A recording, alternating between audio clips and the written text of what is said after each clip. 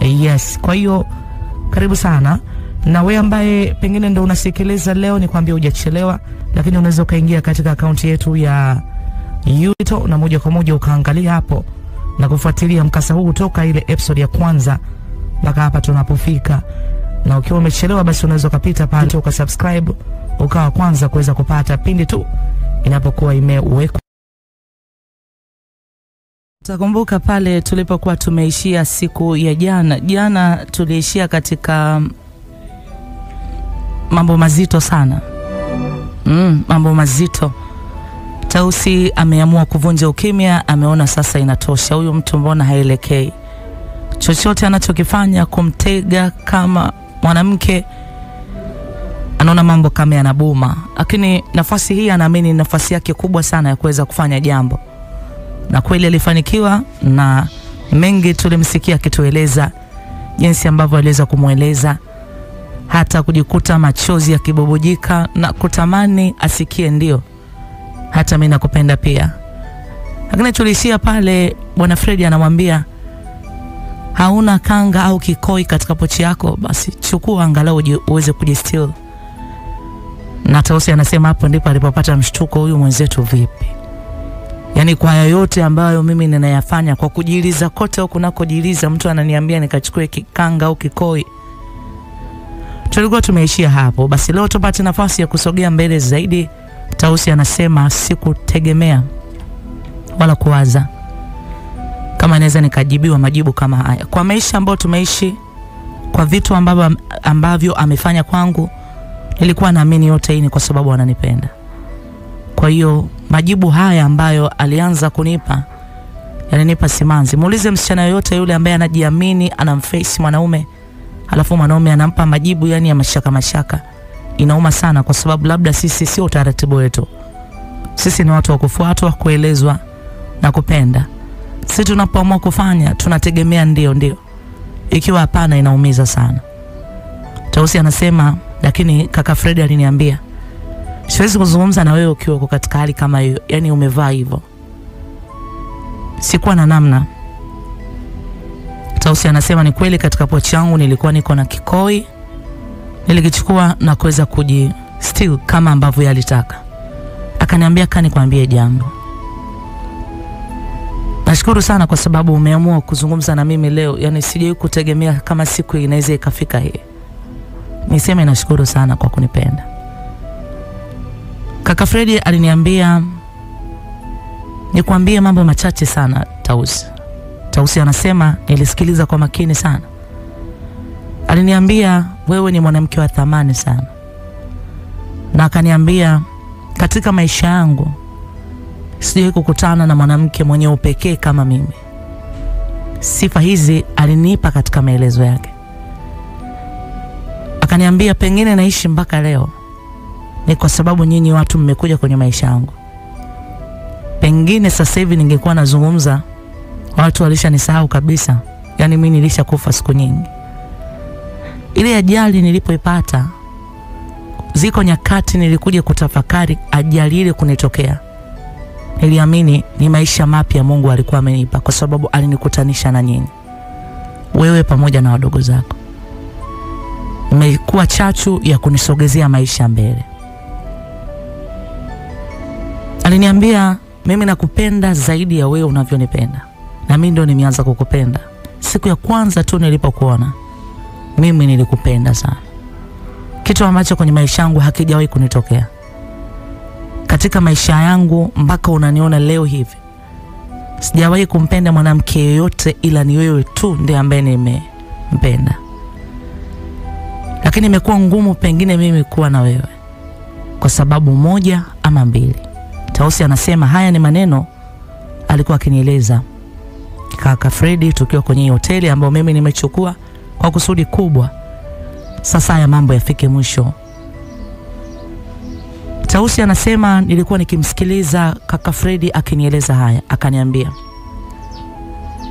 upendo wa kweli si upendo wa kumuumiza mtu. Kiwango ambacho mimi nakupenda wewe ni kukulinda, ni kukujali, kukuheshimu na kuwa na wewe nyakati zote. Huu ndo upendo wa kweli. Na kitu kingine kaka Fredi aliniambia, ninamshukuru Mungu hata kama sasa hivi mimi nitaondoka duniani, lakini nitaondoka vitu vyote ambavyo nilitamani duniani kuwa navyo nimeshavipata. Nilikikosa kimoja tu, kumpenda mtu.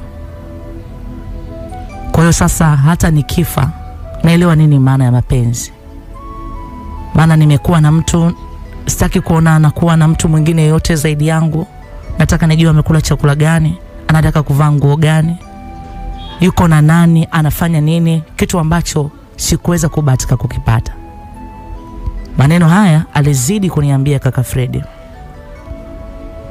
Kaka Fredi aliniambia usinione hivi leo mimi mimi nimepita mambo mengi sana kuhusu mahusiano. Akaniambia ngoja nikwambie jambo linalosumbua moyo wangu na limenitesa kwa miaka mingi kwenye maisha yangu. Tausi anasema hapo ndipo kaka Fredi alinieleza mambo haya yafuatayo. Kaka Fredi aliniambia katika maisha yake alikuwa na ndoto kubwa sana, na kwa sababu alikuwa na uwezo mkubwa sana wa akili, sio kwamba amezaliwa katika familia bora, ni familia kawaida, lakini anasema kwa uwezo wake wa akili mkubwa aliokuwa nao alibahatika kufika chuo. Haya ni maneno si yangu, ni ya kaka Fredi. Tausi anasema kaka Fredi alinieleza alivyokuwa amefika chuo tu mwaka wa kwanza, mambo ya mahusiano mahusiano. Anasema mimi nilivyokuwa mvulana nilikuwa na mwonekano mzuri zaidi ya hivi nilivyo, nilikuwa ni handsome tu, akija tu mimi huonekana mapema zaidi kwa sababu ya mwonekano wangu. Kwa hiyo wasichana wengi walinipenda sana, lakini yuko msichana mmoja ambaye alinipenda zaidi, ambaye alikuwa anafanya projekti zake tu hapa mjini, lakini yeye alikuwa ana asili ya watu kutoka huko Asia. Alinipenda mpaka alikuwa anashindwa kula, muda wote ananiwaza mimi. Hata washikaji zangu akaniambia, wapi unaweza ukapata mtu anakupenda kiwango hiki? Tausi anasema kaka Fred aliniambia msichana huyu achilia mbali tu kunipenda, lakini alikuwa na fedha nyingi, yaani ni mtu ambaye ana uchumi mzuri. Mambo ya chuo na nini, niliona kuwa ni kitu gani kuwa naye. Tausi anasema kaka Fredi aliniambia alikuwa kwenye mahusiano na huyo msichana, sio kwamba alikuwa amempenda kama unavyojua mambo ya chuoni huko, kwa sababu ana kitu na kwa sababu ananipenda pia, na mi kama nilikuwa namuonea huruma kwa nini mwanamke ateseke kwa ajili yangu, ananipenda hivi? Niliona naweza nikavumilia tu ili niweze kumfurahisha yeye. Haya ni maneno anazidi kutueleza Tausi katika ripoti ya leo hapa EFM. Tausi anasema kaka Fredi alinieleza pia zaidi. Alisema tulikaa kwenye mahusiano mpaka nikafika mwaka wa tatu. Niliendesha magari mazuri, nilivaa vizuri, vitu vingi sana alikuwa akinifanyia huyo msichana sasa ambaye ndo mpenzi wake. Lakini anasema mpenzi wangu kutokana na hali ya hewa ya hapa Dar es Salaam alikuwa na shida nayo sana. Kwa hiyo alikuwa anapata kama usumbufu wa ngozi. Mara kadhaa alikuwa akiondoka na kurudi kwao, lakini tuko pamoja. Lakini Tausi anasema kaka Fredi aliniambia mtu huyu alikuja kuondoka akiwa yeye anakaribia kuweza kufanya mtihani bila taarifa yoyote, bila kujua chochote. Anasema hata nilipokuwa nikimtumia message, anasema tulikuwa tunatumia email, hakuweza kujibu hata email yangu moja. Lakini kaka Fredi aliniambia kwa sababu mahusiano yao sasa yamekuwa ya muda, ana watu wanaowafahamu, alitamani kuonana nao, kuweza kuzungumza nao, na kwa sababu alikuwa yuko busy sana na mambo ya masomo aliona kama mpenzi wake ameamua kuondoka na hajampa taarifa, anajua kabisa anachanganya akili yake. Yani anasema kwa sababu hata kama umpendi kihivyo, lakini yale mazoea, anasema basi ilimbidi aweze kumaliza majukumu yake, lakini baadaye aliamua kuweza kufuatilia kwa nini mpenzi wake aondoke hivyo, na marafiki zake pia wananikwepa nikwepa, inakuwaje? Kaka Fredi anasema siku anakutana na rafiki wa mpenzi wake Kaka Fredi anasema hapo ndipo maisha yake yalipobadilika. Haya ni maelezo ambayo kaka Fredi alikuwa akinieleza, na haya ni maneno ya Tausi akitueleza. Tausi anasema kaka Fredi alinieleza hivi. Marafiki zake nilipoweza kuwauliza kwa nini yani kuhusu ishu ya mpenzi wangu hamnipi yani kwa uwazi, au kwa sababu mnajua nilikuwa niko bize, lakini rafiki mojawapo akasema hata sisi tumechelewa kuweza kupata taarifa, na sisi pia tumechelewa kuweza kupata taarifa. Mmoja alisema kuhusu nini? Fredi anasema aliuliza taarifa iliyokuwepo kwamba mpenzi wangu aliondoka kwa sababu alikuwa anaumwa, na ilipoenda huko akazidiwa na bahati mbaya akafariki. Haya ni maneno Fredi anasema alielezwa na marafiki, na yeye hakuwa anajua chochote kumhusu mpenzi wake. Ndipo ambapo Tausi anasema Fredi alimweleza alipata na mshangao, yani inawezekanaje ikatokea kwa ghafla, ni ajali au ni nini? Lakini mmoja wa marafiki akasema, kwani Fredi wewe hujui chochote? Wewe ulikuwa na huyo mtu kwenye mahusiano kwa muda, ina maana hujui? Mbona yeye anasema unajua, na mlishazungumza na mkakubaliana na kila kitu mkaweka sawa. Fredi anasema alikuwa akibaki akishangaa vitu gani hivyo? Lakini ndipo mmoja akasema, mbona alitueleza kwamba mlishazungumza kuhusu mambo ya afya zenu? Tausi anasema kaka Fredi akaniambia, huwezi amini, kumbe mwanamke huyu aliyekuwa ananiambia ananipenda sana, analia, yuko tayari kwangu kufanya chochote, ananiambia ananipenda kuliko chochote kwenye maisha yake, siku zote niko naye, ninafanya naye vitu vingi. Kumbe alikuwa mwanamke huyo ana maambukizi ya virusi vya ukimwi. Tausi anasema alipofika hapo kuzungumza kaka Fredi, nilichoka kabisa, lakini kaka Fredi anasema niliposikia hayo nilihisi kuchanganyikiwa. Mtu huyu aliyekuwa ananipenda anaweza akaninyamazia katika hili jambo zito, na mimi ni kijana mdogo, kwa sababu anasema kwa umri huyu msichana alikuwa ni mkubwa zaidi yake. Marafiki zake walisema pole, kwa sababu tulijua kwamba unayafahamu hayo yote, na mwisho wa siku Fredi anasema alienda kupima afya na alipopima afya katika umri mdogo tu akiwa tu amehitimu chuo alijigundua na maambukizi ya virusi vya ukimwi. Na virusi vya ukimwi ameambukizwa na mwanamke ambaye alikuwa anasema anampenda sana. Na Fredi anasema basi toka hapo mimi nikawa mtu mbaya sana. Nilichoona hakuna mwanamke mkweli katika dunia hii machozi ya yule mwanamke aliyokuwa akilia, niliyokuwa naamini ananipenda kweli, kumbe alikuwa ni mnafiki. Hakuna mapenzi ya kweli ya namna hiyo. Na ndipo kaka Fredi akanieleza jinsi ambavyo aliona akipata fedha anaweza akatawala vile anavyoweza hapa duniani, na anasema toka nilipofanikiwa na kupata fedha, mimi nilikuwa sio mwanaume mzuri kwa kila mwanamke aliye mbele yangu, akimwambia nimekuwa na mahusiano na kila aina ya mwanamke nikikutajia hapa Dar es Salaam, hata wengine naweza nikawa na mahusiano nao, sikumbuki hata kama nilikuwa na mahusiano naye. Na yeyote ambaye ananigusia kuhusu kinga au twende tukapime, sioni sababu ya, kuzungu, ya kuzungumza naye. Mimi mtu na fedha, nazungumza nini? Lakini pia akaniambia kwamba wanawake wengi au sio wepesi sana wa kuweza kukuzu, kukuzuia pindi ambapo wewe unataka ufanya naye mahusiano ya kimapenzi bila hata kinga ni wachache sana ambao wana ujasiri wa kusema hapana. Basi anasema alipita nao wengi. Tausi anasema haya yote kaka Fredi ananieleza, lakini pia hata rafiki yako alipokuja na kuonekana amenitamani, anataka fedha zangu, nilimpa fedha, lakini nami nikatembea nika, nika naye. Tausi anasema haya yote alishangaa, na nikamuuliza rafiki yangu mimi, akasema ndio, nimekuwa na mahusiano naye kama mara mbili hivi na sijatumia naye hata kinga. Moyo wangu umekuwa na kisasi, lakini toka nilipokutana na wewe mimi nilifili upendo, nilifili love. Ndio maana yote nimeyafanya kwa ajili yako, kwa sababu nakupenda na mimi sijakupenda unafiki. Mapenzi ya kweli hayaumizi. Huwezi ukamuumiza mtu unayempenda, huwezi ukataka kuona mtu unayempenda akalia. Yule mwanamke mimi hakuwa amenipenda alinitamani tu, ila mimi sijakutamani, nimekupenda.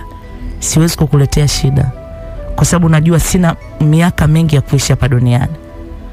Hata hivi unavyoniona ni kwa sababu fedha nilizokuwa nazo zimenipa hatua ya kusurvive, lakini mimi ni mgonjwa mara nyingi. Unakumbuka majira fulani narudi, unaniona nimekonda, ni kwa sababu mimi mara nyingi sana uumwa. Hata sasa mimi siko vizuri kiafya, ni mdhaifu sana. Wakati naendelea kulipa kisasi kwa watu, nakutana na watu pia wenye matatizo. Afya yangu imekuwa ina, inashuka kila siku. Tausi anasema nililia sana kwa uchungu, moyo wangu uliumia sana, na akaniambia nataka uishi maisha ya amani na furaha. Najua yuko mwanaume sahihi sana ambaye unaweza ukaja kumpata, ila mimi si mwanaume ambaye niwe na wewe mke na mume. Hapana, Mimi nashukuru kwa sababu mmenipa nafasi na mmenionyesha love, hiyo kwangu mimi inatosha. Tausi anasema ni kama msiba ulikuwa kati yetu, nililia sana. Aliniambia Tausi, twende nikupeleke nyumbani. Niliondoka na kaka Fredi, hatukuweza kuzungumza chochote mpaka anafika nyumbani. Alinishusha akaniambia mapumziko mema. Moyo wangu bado ulikuwa na majeraha sana. Sikuweza kutaka kuonana na kaka Fredi kama wiki mbili, nikitafakari mwanaume huyo mwenye moyo mzuri, kwa nini huyo mtu alimtenda hivi? Mengi niliyawaza, rafiki yangu. Lakini mimi nilimtafuta kaka Fredi nikamwambia, mimi naombi moja tu.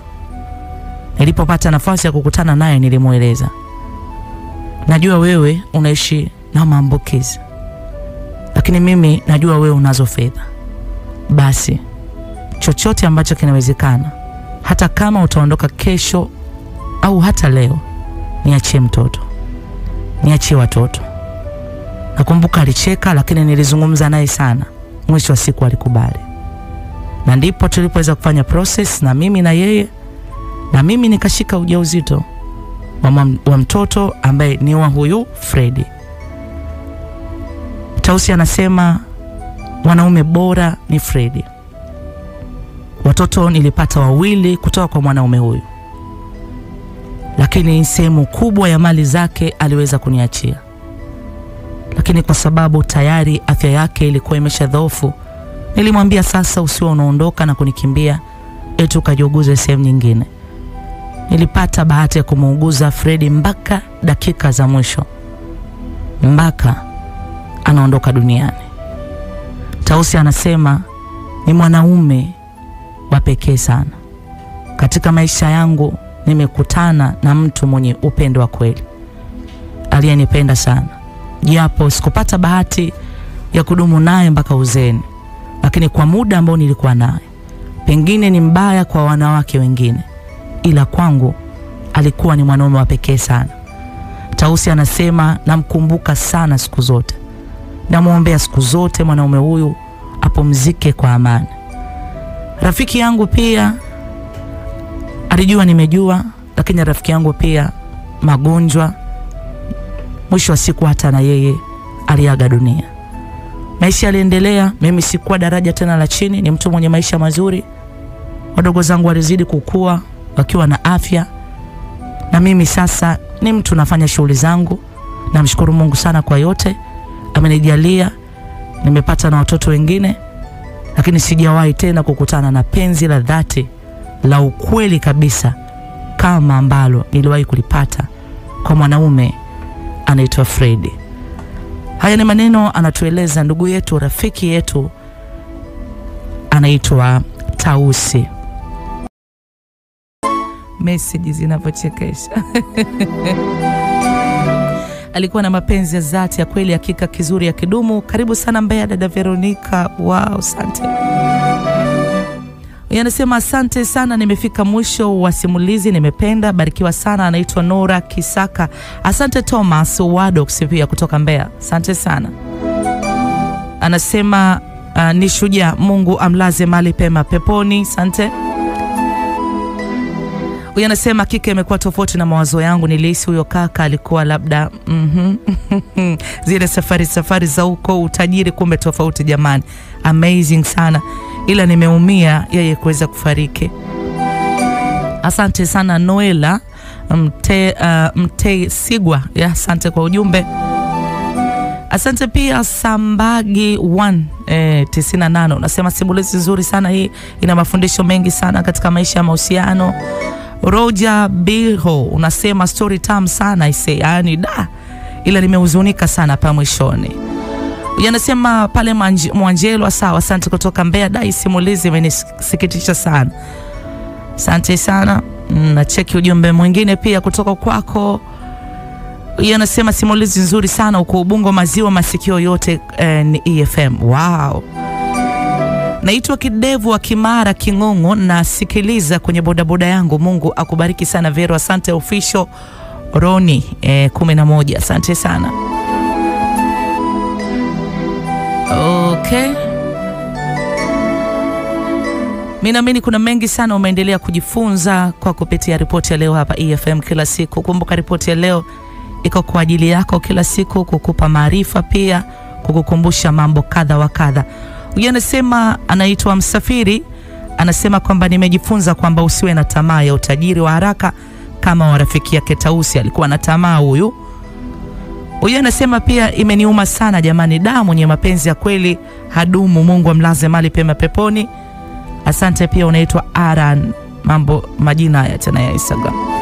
Asante pia unaitwa mwaka fil, uh, fila unasema kweli ni wanaume wachache wenye roho kama Fredi. Apumzike kwa amani. Mpoki kutoka airport Mbeya, asante kutoka pande za huko.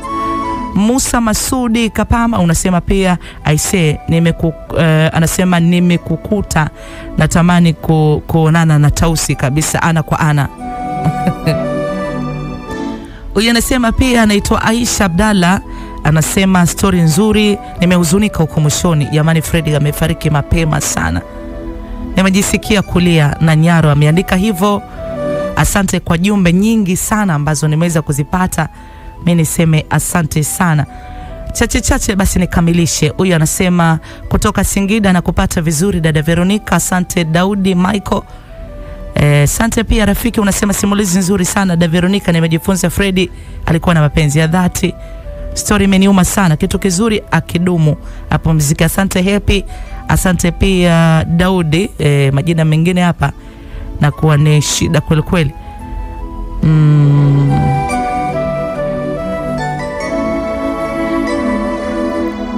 na nyingine nyingi na na wewe ambaye pengine ndo unasikiliza leo, ni kwambia hujachelewa, lakini unaweza ukaingia katika akaunti yetu ya Yuto na moja kwa moja ukaangalia hapo na kufuatilia mkasa huu toka ile episode ya kwanza mpaka hapa tunapofika. Na ukiwa umechelewa, basi unaweza ukapita pale ukasubscribe ukawa kwanza kuweza kupata pindi tu inapokuwa imeea Sasa mimi nimshukuru sana Tausi. Tausi yupo na anaishi katika jiji hili la Dar es Salaam. Namshukuru Mungu kwa yote, na alitamani ujumbe huu tuwakilishe kwako uweze kujifunza pia e, na, na, na unaweza ukaanza ku, ku, kumpenda mtu na mtu unayempenda huwezi kumuumiza. Pengine una mtu wako umekuwa unamuumiza, mapenzi ya kweli huwezi kumuumiza mtu wako, kumbe unaweza ukaanza upya na wewe. Usimuumize mtu unayempenda, usiruhusu machozi kwa mtu unayempenda. Inawezekana kabisa. Wiki ijayo Jumatatu, katika ripoti ya leo hapa EFM tutakuwa na mkasa mpya. Niseme